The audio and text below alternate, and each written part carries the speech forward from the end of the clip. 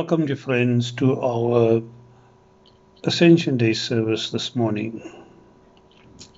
Today is yet another day of celebration. We are celebrating the ascension of our Lord, destined to be at the right hand of God. His work on earth is done.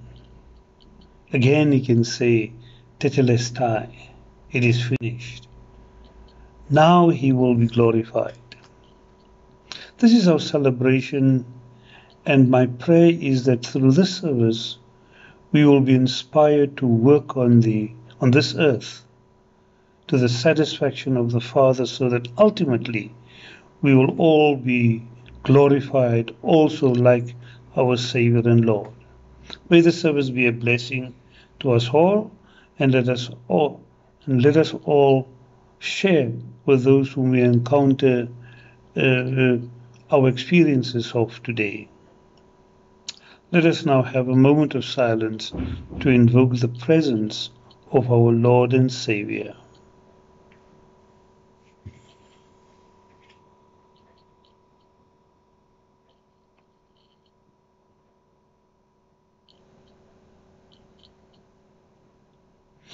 Grace and peace to you from God our Father and the Lord Jesus Christ.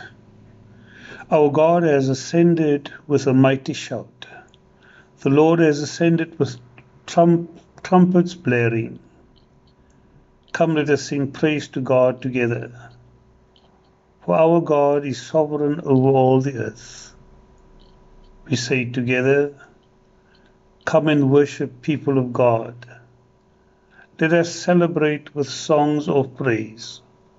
For our God, the Most High, is seated on his holy throne, sovereign over all the earth. Let us worship together. Come, let us pray.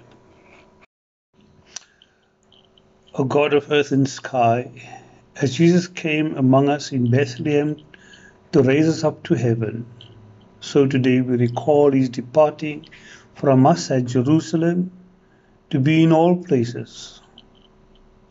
Though he is hidden from our sight, enable us to abide in him by the power and grace of the Holy Spirit until his mercy and grace fill your whole creation.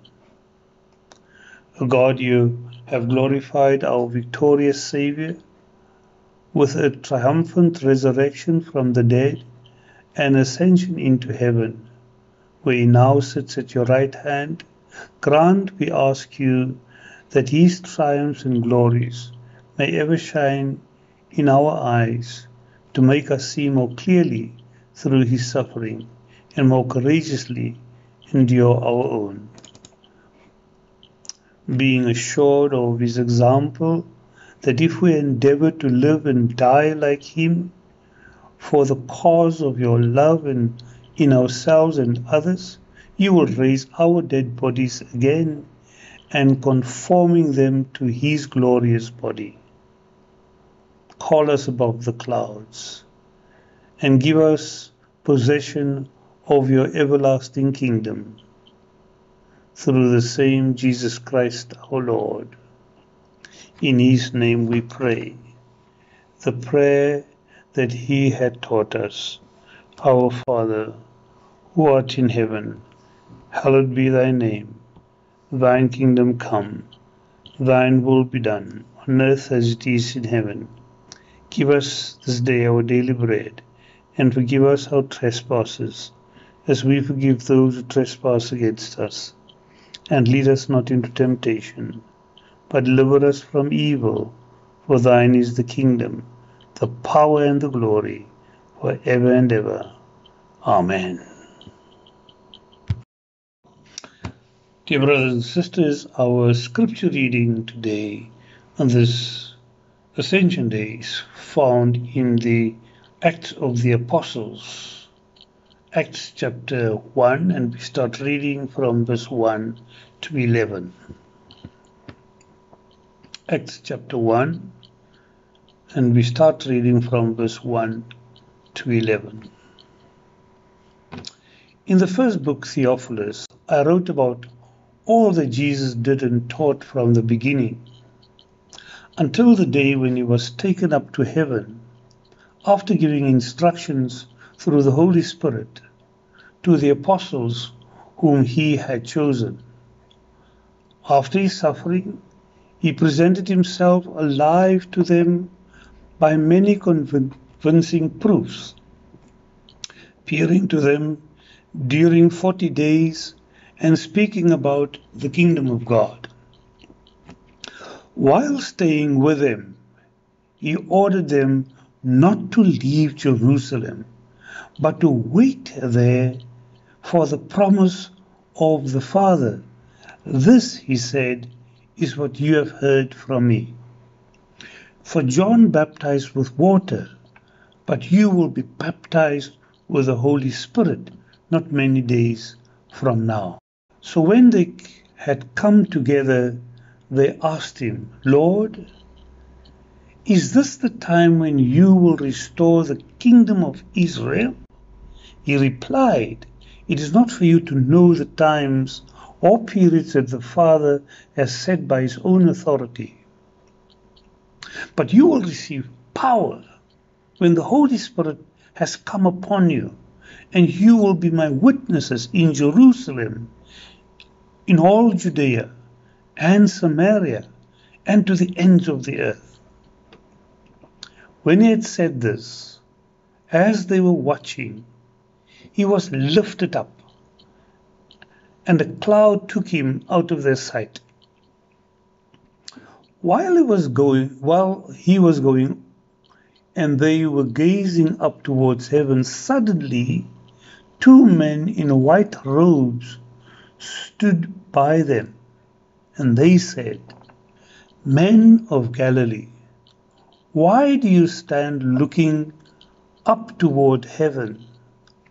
This Jesus, who has been taken up from you into heaven, will come in the same way as you saw him go into heaven. This is the word of the Lord. Thanks be to God. Come, let us pray. God our Father, may the words of my mouth and the meditations of our hearts be acceptable to you, O God, our rock and our Redeemer. Amen. My dear friends, I want to speak to you today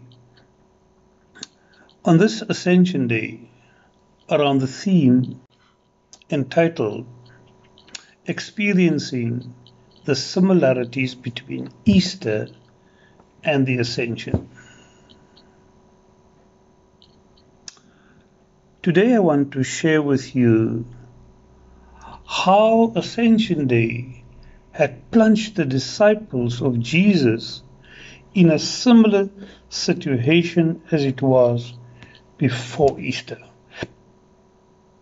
Before Easter, after the incarceration and death of Jesus, the disciples were in a state of fear and shock and anxiety.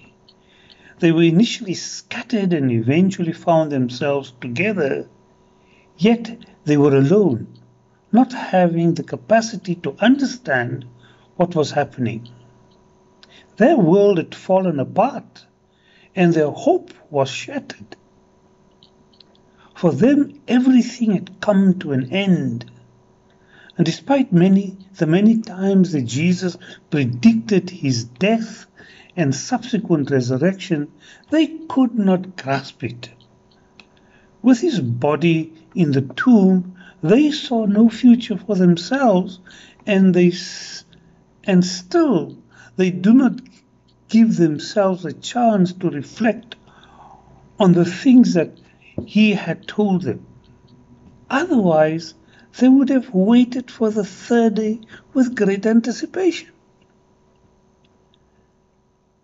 But then came the realities of the Easter dawn. Jesus broke through the seals of the graves and returned to the world. He made numerous appearances, and when this happens, it seems as if the disciples are filled with new life again. He goes on to he goes to various lengths to prove to them that he has returned to life and he relates to them the power and the majesty and the sole authority of God. Then comes the day of ascension. He is separated from them by a cloud, and he is shrouded in this cloud until the disciples could no longer see him. It was with heavy hearts that the reality of his final departure from them started to sink in. A cloud removes him from their sight, and it's like experiencing his death all over again. However, there's difference this time from what it was when he was crucified. Prior to his crucifixion, he prepared them for his impending death and resurrection in Jerusalem. Although they heard this over and over again, they did not exercise active listening. But in the post resurrection period, he prepares them to await the gift of the Holy Spirit and what it will do for and unto them. Through the Spirit, they will be empowered to witness to Him and all that it stood for in Jerusalem and its surrounds and to the ends of the earth. This time they hear and they listen. The arrest and the trial and the ultimate death of Jesus, it stuns and it debilitates and incapacitated the disciples, and everything came to a standstill in their lives, and they were at the point of surrendering everything. On the Easter morn, they encountered the risen Savior, and during the days that follow, He brought them a new message of their imminent empowerment through the promised advocate, and this alters their disposition dramatically. Now they have to wait again, and the question on their minds is will there be a second Easter? After the crucifixion, the mutilated body of Jesus was lying in the tomb, awaiting the resurrection to a new life. However, after the ascension of Jesus, the disciples were hiding in the upper room, each awaiting an own resurrection through the gift of the power of the Holy Spirit. They are here in the upper room under the strict instructions of Jesus, who said to them, Stay together. Two, wait in Jerusalem. And I suspect the anxious waiting prompted them to three, to pray together as they were awaiting the unknown.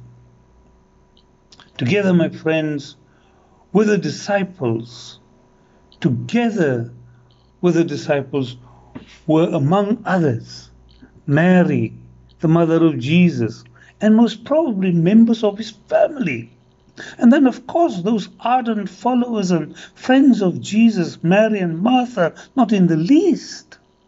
All of them were locked down in this historic upper room, waiting for yet another Easter experience. It is here in the upper room where they stayed together waited and prayed together. Here they found themselves in the same position that Jesus was. The upper room now became their grave, and it is in this grave where they all together have to wait for another dramatic crack of dawn to establish a new reality. During the passage of time, they were gradually endowed with the Spirit and on Pentecost born into a new and resurrected life. Staying together, praying together, and waiting together, friends, may appear easy to do, almost passive. But how much of this can lead us to the same experience? For the sake of our empowerment, let us now for a while refrain from the distractions of just wanting to do our own thing. Refrain from quarrels among each other. Refrain from pulling rank one against the other. Refrain from imposing superiority on another. And refrain from despising the leadership of others. Despite each having their own ambitions, the disciples remained together and did not allow their differences to divide or to scatter them. For now, their personal interests became insignificant, and their focus was on the charge of Jesus and that became their common priority. Remain in Jerusalem, stay together, wait together, pray together. And for us, there is much to learn from what is transpiring in the upper room after the ascension of our Lord. No longer are they waiting or seeking their own narrow self interest, but they are awaiting a promised gift of corporate empowerment that will enable them to all walk in unity and harmony towards the prevalence of the common good among all God's people and indiscriminate universal salvation. They are waiting patiently. They are staying together in unity and they are praying fervently in faith for the unknown things that will erupt as a result of what they have to do collectively. Their wait, their corporate prayer, and their togetherness no longer comprise unrealistic expectations about what they can provide one another or even get from one another only to end up disillusioned and dissatisfied.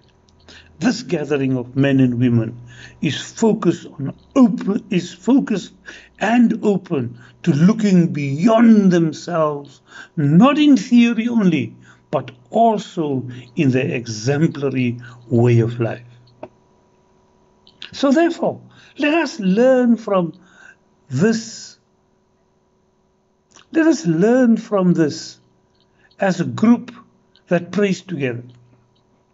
Their prayers are not centered around a list of what they want.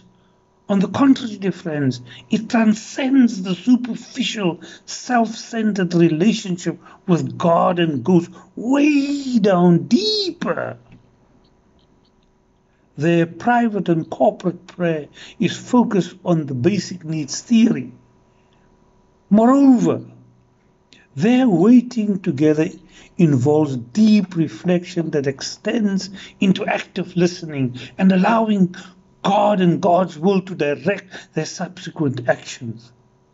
Allow yourself to also feel the stillness in that upper room where this group is sits in silent prayer. It is in their meditative silence that the Holy Spirit finds place and finds space in their souls to hmm. rest and then eventually to multiply in order to fill them. Let us learn from them, my dear fellow followers of the Lord Jesus Christ. They stayed together, they prayed together, and they were waiting together. All this waiting for the things they have not yet seen. They have finally got to a point of getting it right, realizing that true discipleship is about emptying themselves and uninhibitedly allow God to be in charge, to believe that the promise of Jesus requires our unflagging faith and that God's will shall triumph. Waiting together is a testimony that our salvation comes by grace and by grace alone. That redemption, redemption is free and it's free through Christ alone.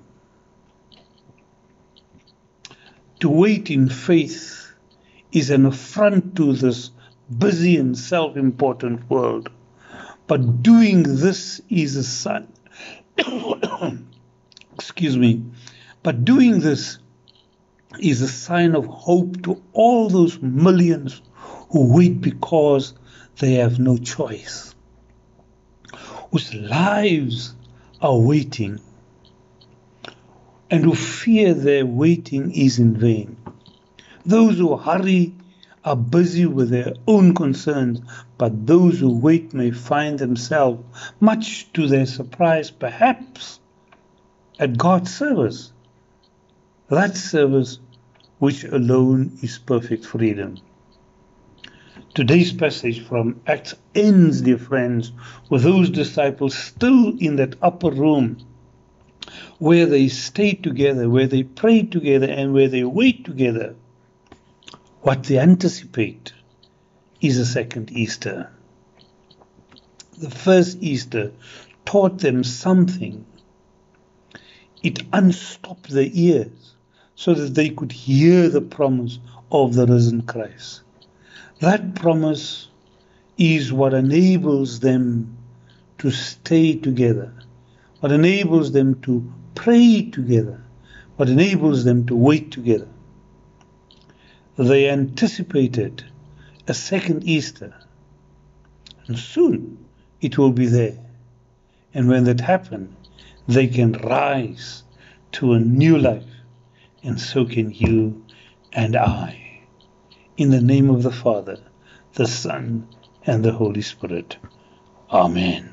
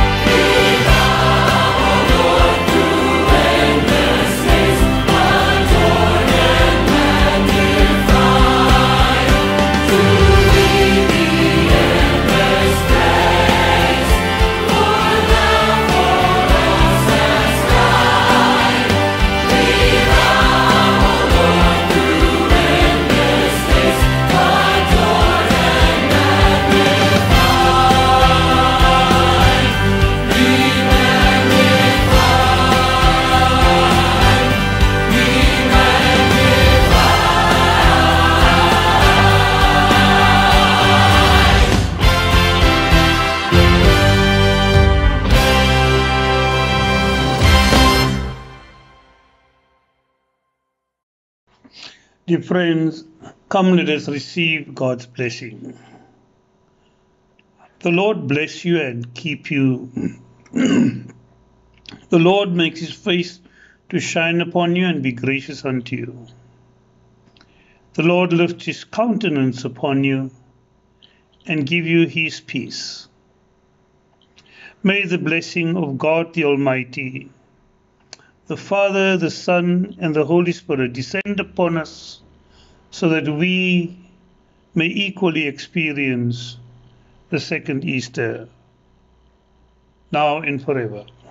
Amen.